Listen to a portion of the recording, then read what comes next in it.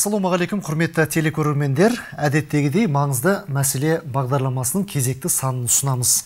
Онсыз елді айрандай ұйытып еңсе тіктеп қарыштап даму мүмкін емес. Ол мемлекет өркендеуінің ажырамас тетігі. Ол бар жерде алынбайтын асу жоқ. Бұл әлбетте еліміздің бірлігі мен ынтымағы. Сонымен құрметті телекөрермен маңызды мәселе хабарының бұл жолға тақырыбы да ынтымақ бірлік достық тақырыптарын арқау ететін болады. Құрметті телекөрермен олай болса бүгін эфирге шақырылған қонақтармен сіздерді таныстырып өтсек қазақстан халқы ассамблеясының мүшесі қазақбай тәштемірұлы ағамыз және алматы қаласы әбу бәкір мешітінің найып имамы айдос шарапатбекұлы. Студиямызға қош келдіңіздер. Ә, кеше ғана қазақстан халқының бірлік күнін кең көлемде жер жерде атап өттік. Елбасымыздың өзі қаншама жақсы пікірлер айтты. Тікелей эфирді пайдаланып алдымен осы қазақстан халқы бірлік күнімен қазақ халқын құттықтап алсаңыздар. Аға өзіңіз бастап. Бүгінде қазақтың қасиетті жерінде ұлы даласы жүзден астам ұлт пен ұлыстардан дін өкілдерінен құралып жер бетінің барлық бояу бедерін бойына жинаған. Осыншама мәдениет пен салт дәстүрді айбарым мен айбыным сәнім мен салтанатым деп білген қазақстанның болашақта 21 ғасырға сенім мен үмітінің мол екенін мен қуанышпен мақтанышпен айтар едім. Бүгінде осыншама ұлт пен ұлыстардың басын және бірлікке топтастыру үшін бір біріне жақындастыру үшін мемлекетімізде салт дәстүрлер достығы мәдениеттер достығы өткен жылы ғана тізімге қосылған алғыс айту мерекесі. Міне кеше ғана өткізген біз қазақстан бейбітшіл халықтар достығын салтанатпен өткіздік. Әрине мен біріншіден бүкіл әлемді жаратқан алла тағалама тағзым етем мыңда бір алғыс айтып. Екіншіден бүгінде 25 жыл ғана тарихы бар ел иесі жер иесі. Қазақ халқы өзінің жасампаз қуатының арқасында бүгінде әлемдік қауымдастықтың алдыңғы көшінде келе жатыр. Міне осындай үдемелі жетістіктердің бастауында тұрған аса құрметті елбасымызға нұрсұлтан ағамызға дархандығы даласымен өлшенетін жомарт қазақ халқымен бірге бірімізді бірімізден бөліп жармай баршамызға қамқорлық жасап. Әлемде еш нәрсемен теңделмейтін тыныштықта бірлікке. Орта бойымыздың түтінін түзеу шығара тіршіліктің шанағын шайқалтпай қайырымы көп мейірімі мол істеп жатқан бүгінде мемлекетімізге ғана емес бүкіл әлемге ұтымды саясат көрсете көш бастап келе жатқан нұрсұлтан ағамызға шексіз ризашылығымызды білдіріп алғысымызды айтамыз өте жақсы керемет құттықтау болды айдос сіздің де қысқаша құттықтауыңыз أعوذ بالله من الشيطان الرجيم بسم الله الرحمن الرحيم الحمد لله رب العالمين والصلاة والسلام على رسولنا محمد وعلى آله وأصحابه أجمعين әуелі бүкіл әлемді жаратқан аллах тағалаға сансыз мадақтаулар болсын пайғамбарымыз саллаллаху алейхи уассаламға оның отбасыларына сансыз салауаттар болсын жалпы осы бізге осындай жетістікті берген осындай бірлік күнін тойлайтындай дәрежеге жеткізген бірінші аллах тағалаға әрине сансыз мадақтаулар айтамыз. Және осы күнге өзін себепші ретінде алып біздерді осындай дәрежеге жеткізген елбасымызға сансыз рахметтер айтамыз ол кісілерге де. Жалпы осы қазақ халқының жалпы осы бірлігі күнімен ә, және бұл бірлік тұрғысынан да тарихқа қарайтын болсақ та әрқашанда осы бірлігі жарасқан ерлер ғана елдер ғана өзін осы деңгейге ғана жеткізген. Сол сияқты біздің де деңгейіміз осы ә, күнге жетті. Барша қазақ халқын ә, жалпы қазақтардан бөлек басқа да ұлт өкілдерін ә, шын жүрегімізбен осы мерекемен құттықтап қоямыз. Өте жақсы рахмет сіздерге. Қазақбай аға жалпы қазақстан халқы ассамблеясы 1996 жылы елбасы нұрсұлтан назарбаевтың бастамасымен құрылды. Бүгінде бұл әлемде баламасы жоқ институт ретінде көп айтылады. Yeah, иә, десек те әлемнің санаулы мемлекеттерінде ассамблеялары бар өздерінің. Осы ассамблея мен біздің ассамблеяның айырмашылығы ұқсастығы бар ма? Дұрыс. Бүгінде қазақстан халқы ассамблеясы жаңа ғана мен айтып кеттім ғой қазақтың қасиетті жерінде 130-дан астам ұлт пен ұлыстардың басын бірлікке топтастырып бүгінгі өзара түсіністік пен құрмет сезімнің жарастық пен келісімнің ұлтаралық татулықтың тұрақтылығын одан әрі жарастыра нығайтуда мен қазақстан халқы ассамблеясының жұмысын мақтанышпен айта аламын. 1995 жылы бірінші наурыз күні құрылған елбасымыздың жанында кеңестік орган ретінде құрылған қазақстан халқы ассамблеясы бүгінде достық пен ынтымақтың келісімнің киелі бесігі. Ұлтаралық татулық пен ынтымақтастықты көрсетудегі бейбіт өміріміздің белгісі. 130-дан астам ұлт пен ұлыстар ішіндегі еліміздегі кез келген халықпен терезесінің тең керегесінің кең екендігін көрсетіп отыр. Міне аса құрметті елбасымыздың ұлтаралық мәселелерді проблемаларды шешудегі көрегенділігі мен даналығы осы деп білеміз. Бүгінде қазақстан халқы ассамблеясының құрамында 820 этно мәдени бірлестіктер бар екен. Қазақстан халқы ассамблеясына мүшелердің саны мүше азаматтардың саны 400-ге жетіп жығылған екен. Алла тағала істеріңізге береке берсін дейміз. Енді айдос жалпы осы дінімізде дәстүрімізде бірлік пен берекенің ынтымақтың тыныштықтың алатын орны қандай? Жалпы қазақ халық қазақ халқымыз ата бабаларымыздың өзі айтады. Бірлік болмай тірлік болмас дейді өз махаммат ерлерін және жолдасы көптің олжасы көп деп айтып келеді. Ал аллах тағала құран кәрімде айтады ей адам балдары дейді біз сендерді бір ермен бір әйелден жараттық дейді. Және сендерді ұлттарға ұлыстарға бөлдік танысып біліп араласуларың үшін дейді. Расында алланың алдында сендердің ардақтыларың тақуалық тұрғысынан ең жоғары болғандарың деп айтады. Яғни бұл жерде айтады сендерді ұлттарға ұлыстарға бөлдік не үшін? Танысып білулерің үшін. Бірақ сол танысып білудің өзі қарайтын болсақ немен болады? Жақсы мәмілемен болады да. Жақсы мәміле екі адам бір біріне кетсе бір біріне жақсы мәміле арқылы жақындай түседі. Яғни бұл аяттың өзінде бірінші танысып білу арқылы бізге бір бірімізбен басқа ұлттармен жақсы мәміледе болу керектігін айтып жатыр. Енді ол пайғамбарымыз саллаллаху алейhi хадисінен қарайтын болсақ пайғамбарымыз саллаллаху алейхи вассалам айтады соңғы қажылығында енді қоштасу құтпасы дейді. Пайғамбарымыз саллаллаху алейхи вассалам сахабаларына айтты. Ей адамдар деді. Жалғыз ғана аллах тағаладан қорқыңдар деді. Расында аллах тағаланың алдында айырмашылықтарың тек тақуалық яғни алладан қорқу тұрғысынан ғана болады дейді сендердің араларында араб пен өзге ұлттың айырмашылығы жоқ дейді. яғни ол айырмашылық тек қана раббыларынан қорқумен ғана болады дейді да. Яғни алланың алдында барлық адамдар тең екенін пайғамбарымыз саллаллаху алейhi осы сөзімен көрсете білді. Өте жақсы. Қазақ баяға жалпы осы күнге дейін еліміз бірнеше жаңғыруларды бастан кешірді. Оны елбасы да өткендегі жақында ғана жарияланған мақаласында тілге тиек етті.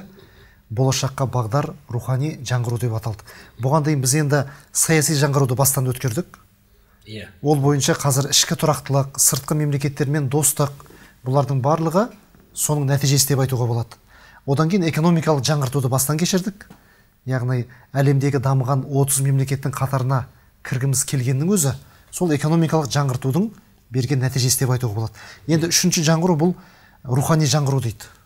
Осы мақала жөніндегі пікіріңізді білгіміз келіп еді аға.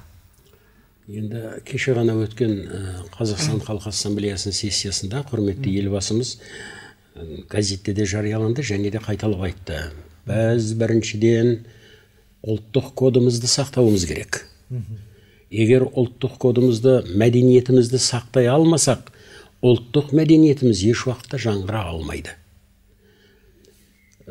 Мен былтыр кітап шығардым. Мәңгілік ел құшағындамын деген алып келу керек еді маған. Тапсырамын біреуін сізге. Алдыңғы тоқсан парағында ғасырлар қойнауынан келген рухани қазақтың рухани құндылықтарын осы 25 жыл бойы жастарымыздың бойына сіңіріп келе жатқаным алдыңғы тоқсан парағында жазылған. Енді біз қанымыздың тазалығын сақтауымыз керек біз мақтан етеміз әлемнің футболистерін зидандарын айналайындар біз қанымыздың тазалығын сақтай алсақ болашақта жүз мыңдаған зидандарды шығара аламыз ең алдыман осы бүгінде жастарымыздың батыстың мәдениетіне бет бұрған ғаламторға бір ә, себепте септігімізді тигізіп оларға тосқауыл қоя алсақ ә, жастарымызды бүгін біз ата бабаларымыздың бізге қалдырып кеткен ә, рухани құндылықтарымызға адал ниетпен тәрбиелесек олардың тік бақай болмай еңбекке оқуға деген өнерге деген көзқарасын бойларына сіңіріп отанға деген патриоттық сезімдерін оларға үйрету бүгін біздің ең негізгі мақсаттарымыздың бірі болып саналады. Өте жақсы. Осы тұста алғаш хабарласқан телекөрермен бар екен рұқсат болса қоссақ. Менің мынау татулық ынтымақ жайында болып жатыр екен бүгінгі тақырыптарыңыз қояйын деген мынадай сауалым бар еді. Біраз уақыт бұрын ағайынмен араласып қалып едім бір жақын ағайынмен. Мынау келе жатқан қасиетті айдың қарсаңында рамазан айының қарсаңында. Қалай татулассам болады деп ойланып жүрмін дәл қазір. Өзім бірінші болып жаңағы қадам жасап кешірім сұрағаным дұрыс па екен? Әлде жалпы осы жайында имам қандай ой айтады екен? Жақсы рахмет. Ағайынмен достық бірлік кетіп қалды деп отыр ғой қалай жақындастырамын дейді. Өйткені елдің бірлігі ол ағайынның бірлігі ол жанұяның бірлігі емес пе? Иә иә. Аха имам. Жалпы ә, біз қазір ә, мемлекет жалпы қоғам туралы бірлік туралы сөз айтып жатырмыз ғой. Бірақ бұл біртұтас мемлекет болу үшін де отбасы отан отбасынан басталады дейді. Біз отбасымызды түзей алмайтын болсақ отбасы да негізі түзелмейді. Әркім өзінің ә, несін ә, кемшілігі болса кемшілігін түзеп жақсылығы болса жақсылығын арттыру керек. Яғни біз отбасымызда пайғамбарымыз саллаллаху алейхи вассалам хадисінде де аллах тағаланың аяттарында да осы отбасы жайлы қатты мән мағына беріп иман келтіргендер аллах тағалаға серік қоспаңдар және ата анаға жақсылық жасаңдар. Және соның ішіндегі содан кейін барып отбасыларыңа жақын туыстарыңа алыс туыстарыңа жақсы мәміледе жақсы қарым қатынаста болыңдар деп аллах тағала бізге әмір етеді. Яғни бұның, бұның өзі де бірінші аллах тағалаға серік қоспауды бұйырып және екінші ата анаға жақсылық жасауды бұйырып және үшінші қатарда осы бізге отбасы мәселесін қойып жатыр да. Туған туыс иә туған туыс ағайын пайғамбарымыз саллаллаху алейхи уассалам айтады бұл туған туысты сондай маңызды бірінші орынға қойып бұл екеуінің арасын тағдилу бәйнесіне садақатын дейді да. Екі адамның арасын жарастырғанның өзі садақа дейді да. Яғни басқа біреулер себепші болып жататын болса біреулердің арасын татуластыруға ол кісі садақаның сауабын алады да. Не үшін? Ол жерде үлкен бір маңызды мәселені пайғамбарымыз саллаллаху осылай түсіндіріп кетті да. Сондықтан да бірінші негізінде жаңа сұрақ қойған ә, кісіміз айтып жатыр. Бірінші болып кешірім сұрағанның сауабы көбірек болады да. Және пайғамбарымыз саллаллаху алейhi хадисінде айтады үш күннен артық араздаспаңдар дейді. Мұсылман адам үш күннен артық ренжіп жүрмейді бір біріне дейді сондықтан осы рамазанға бұның өзі бір рамазанға дайындық та рамазанға таза болып кіруіміз керек та біз. Барлық нәрселерден ренжіскен адамдарымыз солардан кешірім сұрап ал болмаса ә, сізді біреу ренжіткен болса оған өзіңіз іштей болсын ол сізден кешірім сұрамаса да оны кешіріп сондай бір жақсы тәрбиемен рамазан айына кіруіміз керек. Ағайынды жамандап басқасын қаяқтан табасың дейді ғой. Иә қорытындылай келгенде иә. Ә, жеке адамдардың тұрмыс тіршілігіндегі болымсыз жағдайларын ұлтаралық ә, ә, ұлтаралық мәселелерге шектемеу керек. Енді өмірде әр нәрсе болады ғой көршілес тұрады. Бір базарда жолда келе жатқанда әріптес болады әріптес болады ну үй келісте болады. Бірақ бұны ұлтаралық қарым қатынастармен шектемеу керек. Ол жеке адамдардың тұрмыс тіршілігі әрине жаңа ғана інім айтып кетті. Алланың жолымен бейбіт жолмен шешу керек. өте жақсы. Сотқа жеткізбей. Ә, жақында ғана астана қаласында мына мың жарым адамның қатысуымен қазақстан халқы ассамблеясының 15 бесінші сессиясы болып өтті. Жалпы осы сессияға бір ауыз тоқталмас бұрын аға ассамблеяның осы өмір сүргеніне де біраз жылдың жүзі болды. Ә, ассамблеяның бүгінге дейін қандай толағай жетістігін ауыз толтырып айтар жетістігін атап өтер едіңіз аға? Қандай деңгейге жетті ассамблея аясында бүгінде республикалық ассамблея аясында отыздан астам этномәдени орталықтары жұмыс істейді.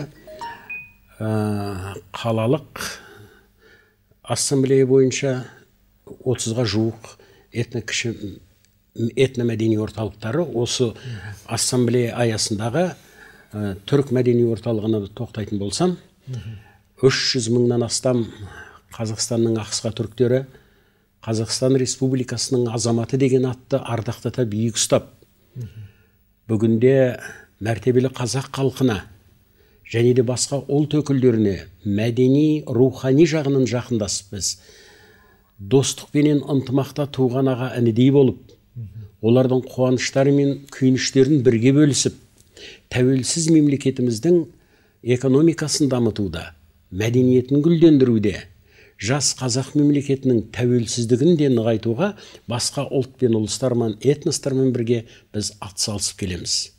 Болашақта да осы халықтар арасындағы біз достығымызды нығайтып ынтымағымызды бекеңдеп ә, көп ұлтты мемлекет ішінде біз туыстықты арттыруды мақсат етіп отырмыз. Алла тағалам осы мақсатымызды бізге нәсіп етсін. Әмин. Иә нәсіп етсін дейміз. Тағы бір хабарласқан телекөрермен бар екен. Сұрағын қоссақ. Мен сұрағым бар еді. Аха. Қоя беріңіз. Осы не өткенде кеше нағашыммен келісіп қалғам. Сіз сөйлеңіз ешнәрсе дейсіз баласыңыз қумаңыз үйге келмеңіз деп айтқан біз оны енді маған есігім ашпай қойды. Мен не істеймін екі рет бардым кеше күні. Бұл кісі бірінші барып кешірім сұраса ана кісі кешірмей жатыр екен да. Соған не жауап бересіздер дейді ғой. Аға сіз бір ауыз одан кейін имам бауырымыз қорытындаса енді жаңа ғана мен айтып кеттім ғой. таспен ұрғанда аспен ұр деген бар емес па? Қазақ халқының бүгінде осындай төзімділігін толеранттылығын жаһан ғалымдары бүкіл әлемге үлгі өнеге етіп келе жатыр. Но әрине төзімділікпен ә, жақсы сөзбен бір ортаға икемге келіп бұл мәселені басқа да көршілерге біз просто өздерін өздерін аттарына дақ түсірмей бейбіт жолмен шешу керек. Дұрыс айтасыз. расында да солай ә, ә, біз әрбір құранда ә, аяттарды оқығанда бисмиллахи рахмани рахим деп айтамыз. Мейірімді рахымды алланың атымен бастаймын. Ә, бұл алланың ең ә, жақын тартқан сипаттарынан бірі да. Алланың өзі рахымды болатын болса сен қалай алланың өзі кешірімді болатын болса аллах тағала айтады да маған серік қоспағанның барлығын кешіремін дейді. Яғни алланың өзі солай бізге құлдарына мейірім танытып тұратын болса біз жаратылған болып ол кісіні қалай кешірмеске да? Ол кісіге айтатынымыз егер кешірім сұрап жатса бауырыңызды кешір дейміз кешірмей жатса? Кешірмей жатса енді кешірген адам өзін ә, кешірім сұраған адам өзі сауабын алады. Иә. Өзі алланың алдында айыбынан кеш, ә, айыбын жуған болып яғни тәубесіне келіп ол кешірім сұрап жатыр ғой. Ал кешірмейтін болса ол өзі өзінің уақыттың өте келуімен тағы бір барып кешірім сұраған дұрыс шығар. Иә қайта қайта бара беру керек. Уақыттың өте келуі уақыттың өзі ә, ем. Ем ғой. Уақыттың өзі емдеп береді. Ұмыттырады ғой жаңағы ұмыттырады. араздық жолға алып келеді. Иә. Арадағы үйкелісті уақыттың өзі жояды. Береке бірлігімен ынтымағы жарасымды болады. Өте жақсы. Олай болса ә, бағанағы осы елбасының жолдауына байланысты бір екі ә, айтар мәселелері бар. Құлақ қағыс бола берсін. Біріншіден рухани жаңғыру деп айтылғанда елбасы біріншіден ол әлемдік бәсекеге қабілетті жасампаз тұлға қалыптасу керектігін айтты. Екіншіден алдына нақты мақсаттар қойып соған ұмтылатын прагматик әрі реалист адамдар болу керек деді. Ал үшіншіден ұлттық бірегейлігін нығайтып ұлттың дамуын тежейтін барлық нәрселерден бас тартатын адам. Төртіншіден білімнің салтанат құруы. Бесіншіден тек эволюциялық даму ғана халқының өсіп өркендеуіне мүмкіндік беретіндігін айты, айтып өтті. Қарап отырсақ осы рухани жаңғыру мақаласының мәні мен маңызы орасан сияқты. Имамға қойылатын сұрақ осы рухани жаңғыру деп жатырмыз. Мына қазақстанның тәуелсіздік алғанына 25 жылдан асты биыл 26 жыл. Осы 26 жылдың ішінде 2500-ден аса мешіттеріміз ашылды. Оған көбінесе жастарымыз барып жатыр. Жастардың да әртүрлі ұлт өкілдерінің болғанына қарамастан бір сапта тұрып намаз оқуы рамазанда ауызашарда емен жарқын әңгімелесуі осының барлығы бір бірлігіміздің бір жетістігі. белгісі жетістігі секілді. Жетістігі аха жетістігі деп айтуға болады. Осыған қатысты пікіріңіз. Жалпы рухани жаңғыру дегеніміз не сіздің түсінігіңізше жалпы рухани жаңғыру дегеніміз ә, ол ә, біріншіден осы мақаланы елбасымыз жазып ә, бізге шығарды ғой рухани жаңғыру деген ол ә, елбасымыз ә, сөзінде өзінің мақаласында айтып кетті. Бұл рухани жаңғыру ә, алға қарай ұмытылу яғни адамның бұрынғы санадан қазіргі санаға қарай көшу. Яғни бұрынғы санамен қалып қоймау керек. Ал ол үшін дейді санамыз ісімізден алдын жүру керек санамыз ісімізден алдын жүру керек. Яғни біз ә, санамыз бір қалыпты болатын болса ісімізбен біргетін болса ер- ары қарай жүре алмаймыз дейді ал бұны біздің жаңағы сіз айтқандай ә, мешіттің ә, жамағаттарымен айтатын болсақ жалпы бұны бір деңгейге бір сапқа алып келетін ислам да. Пайғамбарымыз саллаллаху алейхи уассалам көрсеткен үлгі өнегелері. Не үшін? Өйткені пайғамбарымыз саллаллаху алейхи уассалам кәпір болған адамның өзіне сен деп оған сенсінбеген да. Егер ол жақсы ә, жамандық жасап жатса да оған үнемі жақсылық жасаудан қайтпаған. Бір мысал келтіретін болсақ осыған байланысты яғни мүшрик болған ә, бір кісі абдуллах ә, ибн үлім дейтін бір кісі болады. Сол кісі пайғамбарымыз саллаллаху алейхи үнемі жамандық жасайды дейді ал пайғамбарымыз саллаллаху алейхи оған үнемі жақсылық жасайды дейді. Сонда ол кісі өліміне жетіп жан алқамы шығып жатқан кезде қиналып жатқан кезде ұлына айтады. Пайғамбарымыз саллаллаху пайғамбардың бар мұхаммедтің шапанын алып келші дейді барып. Ұлы келеді пайғамбарымыз саллаллаху осында әкем қиналып жатыр сіздің шапаныңызды сұрап жатыр өлімім жеңілдейді деп. Сонда пайғамбарымыз саллаллаху вассалам одан қаншама зарар көрсе де ол исламды қабылдамаса да шапанын шешіп береді да. Осындай үлгі өнегелерімен пайғамбарымыз саллаллаху алейхи вассалам бірліктің ынтымақтығын ынтымақтың жоғары орында екенін бізге көрсетіп кеткен да. Осы оқиғаларды осы хадистерді оқи келе мұсылмандар осы бір сапта не иық тіресіп бір бірімен мейірімдікте тұрады. Иә. Рухани жаңғыру біз кеше ғана елбасымыздың мақаласынан бастаған жоқпыз. Тәуелсіздігіміздің алдыңғы жылдарынан келе жатыр. Аса құрметті елбасымыздың ә, үлгілі даму жоспары жасалынды. Біздің нарықтық экономика құрылымының механизмі қалыптасты экономикамыз өсті мәдениетіміз гүлденді тмд елдеріне біз үлгі өнеге болдық. Аса құрметті елбасымыздың мемлекетіміздегі этносаяси рухани саяси ұлттық реформалардың дұрыс жүргізуіне байланысты қалыптасқан ұлтаралық татулықтың тұрақтылығы әлем сахнасында қазақстан беделін арттырды. Сондықтан да шығар бір ғана хронологиялық тізбектерден бір ғана мен мысал келтірейін. 2007 жылдың қарашаның соңғы жұлдызында испанияның астанасы мадрид қаласында 57 мемлекеттің сан, санаты бір ауыздан аса құрметті елбасымыздың қауіпсіздікке бейбітшілікке сіңірген еңбегін бағалап обсе-ға төрағалық етуге дауыс берді. Қараңыз советтер одағында тмд елдері мен ислам әлемінде европа тұңғыш рет мәртебелі қазақ халқына жауапты төрін ұсынды. Біз оныншы жылы бұл міндетімізді тек атқарып қана қойған жоқпыз. Ондаған жылдар бойы шешілмей келе жатқан сұрақтарға серпілістер беріп біз жеңіске жеттік. Абыройға жеттік жеңіске жету абырой емес пе? Міне рухани жаңғыруымыздың арқасында біз обсе-ға төралық еттік. Биікті бағындырдық. Иә биіктерді бағындырдық. Ислам- сол тәуелсіздігіміздің алдыңғы жылдарынан келе жатыр. Иә енді басымдырақ кеше ғана талқыланды сессияда да шегелеп айтылды дейсіз ғой иә иә шегелеп айтылды. Өте жақсы. Сондай ақ ислам ынтымақтастық ұйымын басқардық. Енді алла қаласа мына алдымызда экспосында үлкен бір әлемдік көрмені өткізу міндеті жауапкершілік жүктеліп отыр. Осыны ел болып халық болып аман есен өткізіп алу жазсын дейміз. Иә.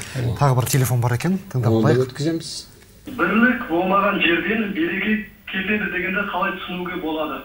Рахмет сұрағыңызға. Жақсы. Аха. Әрине бірлік болмаған жер біз өткен тарихымызға үңілсек айналамызға қарасақ барлық мемлекеттер бір бірімен үйкелісіп ұрысып қан төгісте болып жарылыстарда тағы басқаларда. Есімізге түсірейік. Бір қазақстан мем- қазақстан елінен басқа бірде бір мемлекеттің бейбіт өмірін көріп тұрған жоқпын. Қазақ халқының берекесіндей мерекесіндей татулығындай бірде бір ел көрген жоқпын.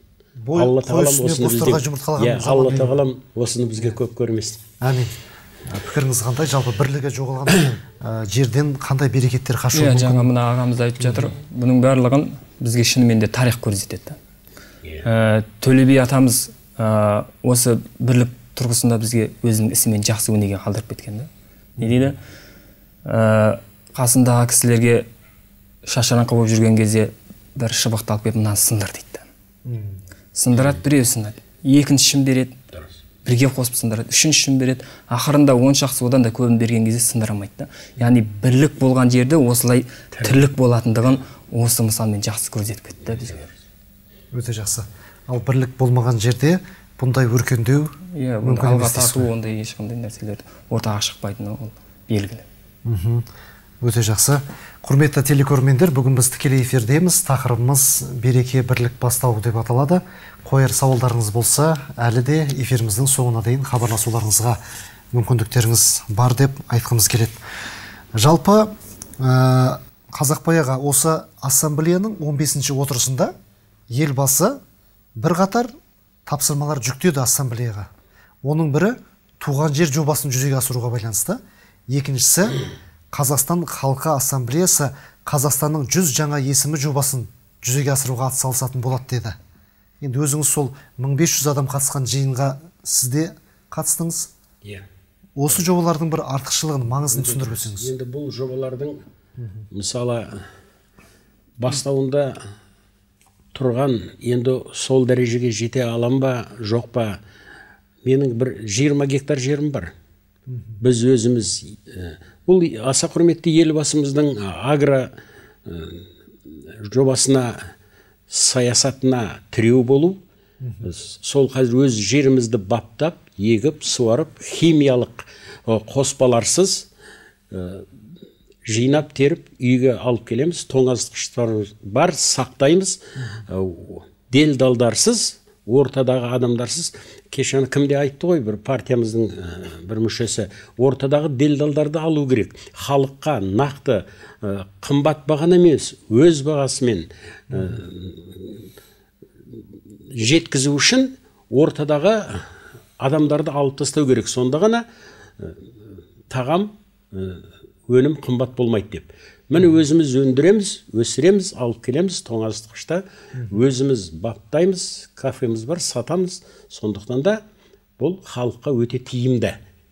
Яғни мемлекет тарапынан осы ассамблеяның мүшелерінің де иә. осы мәселен кәсіппен айналысуына ешқандай кедергі жоқ дейсіз ғой? Иә елбасымыздың өзі де ә, нақтылап айтты ғой. Егер қазақстан халқы ассамблеясының кәсіпкерлері басқа да қалталы азаматтары еш мешіт салмаса да еш болмаса бір спорт кешенін салып бір ел құрметіне бөленсе бір ауланы жөндеп жасап өзін көрсетсе екен деген елбасымыздың одан да басқа нақты айтқан ә, пікірлері біз өзімізбен бірге алып келдік. Енді оны іске қолданамыз. Өте жақсы. Сіздің де қазақбай аға сол жүз жаңа есімнің сапында болуына біз де тілектеспіз. Рахмет. Сіз сияқты азаматтарымыз көп болсын дейміз. айдос жалпы бұл мешіттің бір жөндеу жұмыстары болғанда мешіттің ауласын тазалайтын кезде ә, бір өтініш айтатын болсаңыз сол жамағатыңыздан ұлтына қарамай ұлысына қарамай барлығы бір атаның баласындай жұмылдыра жұмыс. екі көзінің ағы мен қарасындай келе қалып ынтымақта бірлікте жұмыс істеп кетеді. Бірлікте осы сияқты әртүрлі ұлт өкілдерінің де еліміздің дамуына қосып жатқан үлкен үлесі бар. Яғни жүз жаңа есімді толтыратын сол сапта толтыратын азаматтарымыз көп қой. Осыған бір жарқын мысалдар келтіріп отырсаңыз сол мешіт жамағатының арасынан мүмкін. Жүз жаңа есімді толтыратын Иә, дегенде жалпы жаңа сіз айтып жатқандай шынымен де рас кез келген адамнан мысалы үшін ә, мешіттің жұмысына көмек сұрайтын болсаң яғни ол біліп тұр тек алланың разылығы үшін алланың яғни біз сұрап жатсақ та ол біз үшін істемейді да яғни алланың разылығы үшін істейді. Яғни ол жүз жаңа есімді толтыратын соның ішінде мысалы үшін ансар деп қойсаң болды яғни жәрдем беруші деген сияқты. Сондай есімдерді ә, болмаса ә, ә, басқа да сөздерді қазақ есімдерді қоюға болады да осы сияқты. Жақсы. Сіздің ойыңызша не нәрселер бірлік пен тыныштыққа сызат түсіреді? Яғни жалпы бірлік пен тыныштыққа сызат түсетін нәрсе бірінші оны бізде исламда да фитна яғни ә, бүлік дейді ғой, иә? дейді. Соны ә, басшыға бағынбау сондай сияқтылардың ең не ә, бірлікті сызат түсіретін ең ұлы нәрселердің бірі да өйткені аллах тағала құран кәрімде айтып кетеді.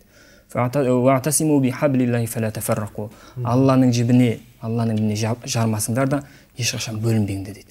Пайғамбарымыз саллаллаху алейхи уассалам да өзінің хадис шәріптерінде келтіреді.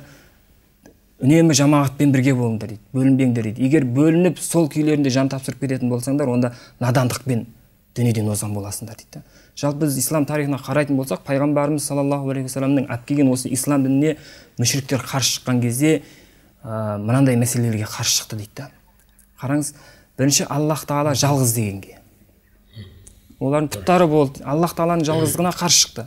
Және ақырет күніне қарсы шықты. Өлгеннен кейін болды. Мынау ясин сүресінде келеді. Мына сүйекті жинап қайтадан адам қалпына келтіретін кім деп. Яғни сенбестік яғни ақырет күніне сенбейді. Және сол сияқты пайғамбарлар пайғамбарымыз саллаллаху алейхи вассалам мойындамады олар. Және соның ішіндегі адамның теңдігін мойындамады да. Яғни пайғамбарымыз саллаллаху алейхи жаңағы аят түскен кезде біз сендерді бір ерден бір әйелден жараттық және сендерді ұлттарға ұлыстарға бөліп. Сол осы аяттар алланың алдында сендердің нелерің ә, ардақтыларың тек алладан қорқуларың деген кезде олар айтты да мына қара құлмен біз теңбіз ба? деді пайғамбарымыз саллаллаху алейхи вассалам теңсіңдер деді да ал сол кезде олар қарсы шығып жоқ бұл әшейін не? Біз өзіміздің дәрежемізге қарай жоғарымыз деп олар бөлінді. Өте жақсы. Жалпы қазақ жерінде өмір сүрген қай тұлғаларымызды алаш арыстарын қарасаңыз да біздің үш арыс бес бәйтерегімізге қарасаңыз да барлығы да осы елдің бірлікте болуын бірлігінің арқасында. Аңсап кетті шақырып кетті бірлікке. Соның арқасында соның себепші болуымен алланың арқасында бірліктің себепші болуымен біз қаншама былайша айтқанда биіктіктерді бағындырдық. Осылай емен жарқын әңгіме құрып отыруымыздың өзі осындай елімізде осындай ағартушылық телеарнаның болғанының өзі ассамблеямыздың болғанының өзі бұл тыныштықтың арқасы деуге болады аға. Тағы бір хабарласқан телекөрермен бар екен. Тыңдайық сұрағын. Құлағымыз сізде тыңдап отырмыз. Уағалейкум бар еді сіздерге. Мхм. Ағайынның арасында ақша мәселесі бар еді. Соны қалай шешсе болады? Ақша мәселесінде бір араздықтар туған болу керек аға. Қарыз беретін кезде алатын кезде мүмкін. медиалық әдістер бар. Оны тек қана бейбіт жолмен сотқа жеткізбей Иә. ә, ауылдың ақсақалдарын жинап ә, дарындыларын ә, жас үлкендердің елбасымыз айтты ғой.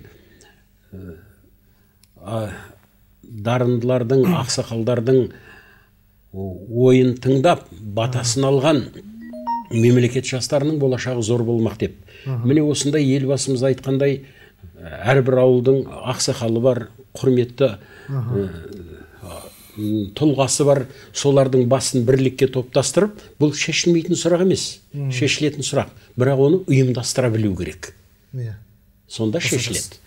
осы ә, белгілі айтыскер мұхаммед айтыскер ақын мұхамеджан тазабек ағамыздың айтқан сөзі бар еді. Иә. Әрбір азамат қартайған сайын қазынаға айналу керек дейді. Иә. ал қазынаға айналу үшін ол өзінің жастық шағын өкінбестей өткізу керек дейді. Өкінбестей ұрпақ сабақтастығында сабақтастығында. эстафетаны өткізу. Сонда ол адам отызында орда бұзып қырқында қамал алады. Өте дұрыс. Елуінде ел ағасына айналады алпысында арысы берісі өзінің әулетінің дейді арысы бүкіл елінің абызына айналады дейді. Жаңа сіз айтып отқан әр әулетте өзінің бір абызы бар. Әрине әр әулеттің өзінің бір ақсақалы бар. Ақсақалы бар. солар осындай мәселелерін шешіп отырса бір төрелігін айтса ол өзінен өзі шешілмей ме? ұйымдастыруға байланысты. Жалпы ағайындардың арасында да бір біріне деген мейірімнің молдығы өте қажет сияқты осындай Өте кезде. Мәселен бір ағайын екінші ағайынға көмектесетін болса көмірінің түсірілуіне ағашының түсірілуіне бірақ ертеңгі күні соны міндетсініп жүретін болса әрине мен бұған бір жақсылық жасадым ғой. Бұл неге маған жақсылық жасамайды деп? Иә дана халқым айтады ғой ағайын тату болса ат көп абысын тату болса ас көп деп. Осы иә осы қарыз мәселесі ғой анау. Иә. араға от салатын өйткені досыңнан қимасың сұрама дейді болмаса. Осы дүниеге байланысты жақын адамыңнан бір мысалы үшін қаншама жақсылық бір бірімен араласып тату тәтті өмір сүріп келесің біреуден бір ә, жақын туысыңнан қарыз аласың бірақ бір себептермен оны төлей алмай қалатын болсаң бере алмай қалатын болсаң екеуіңнің араңдағы мәселе осы ақша үшін екі жаққа кетеді да сол кезде мәселен бір ағайынына қарыз қайтара алмаса екінші ағайыны мейірімділік танытып жарайды енді күтейін тағы да. Енді қарыз негізі өзіме де керек бірақ бір екі ай саған тағы рұқсат берейін сен де бір бауырымсың ғой деп деген бір қарым қатынас танытса бұл ұрыс керіс Иә, өзінен өзі шешілетін бұның өзі иә үлкен сауаптардың бірі да Үлкен сауаптардың қарду хасан деп келеді яғни құран кәрімде?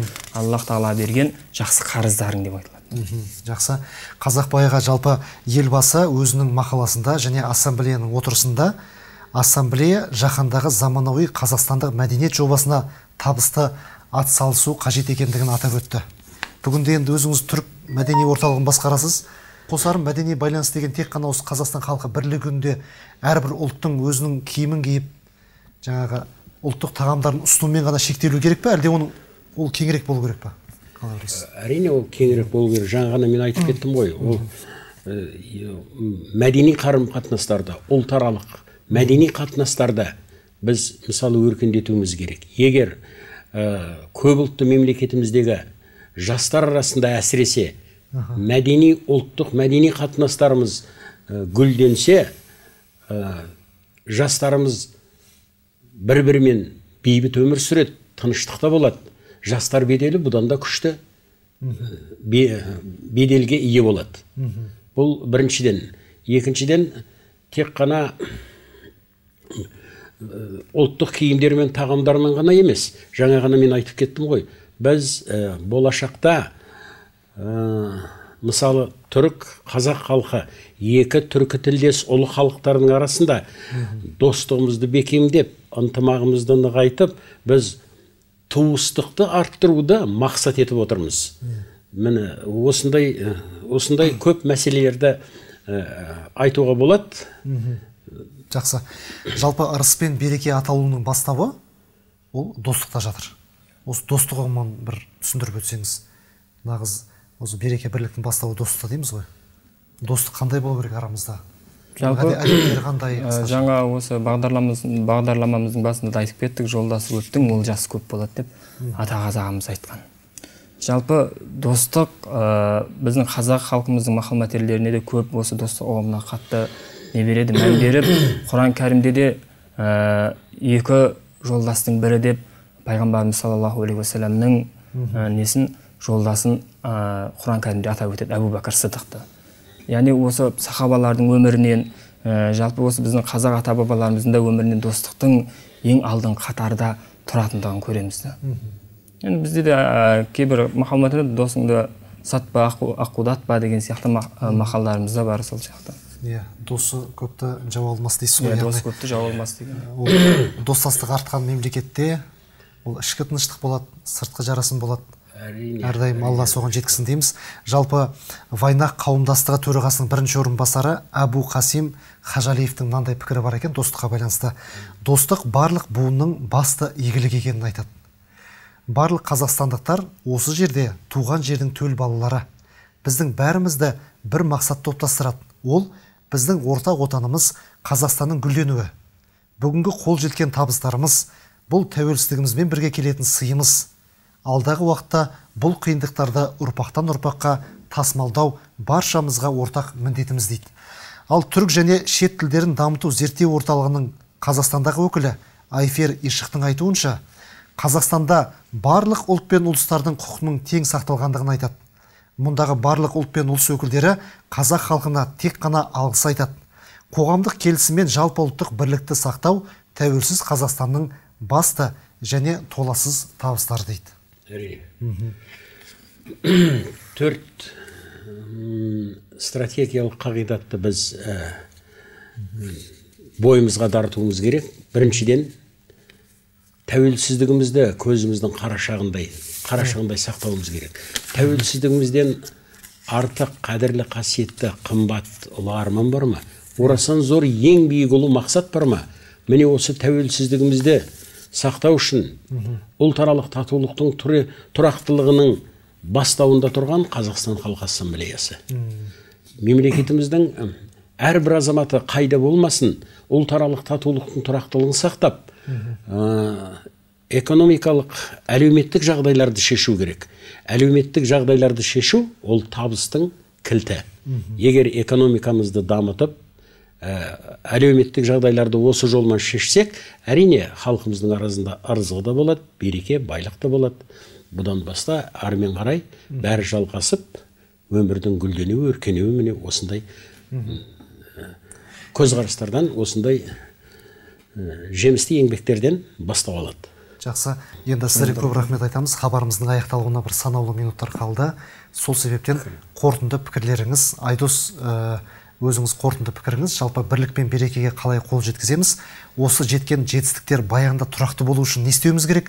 Қысқаша ғана айтсаңыз сосын қазақбай ағамыз қорытындыласа.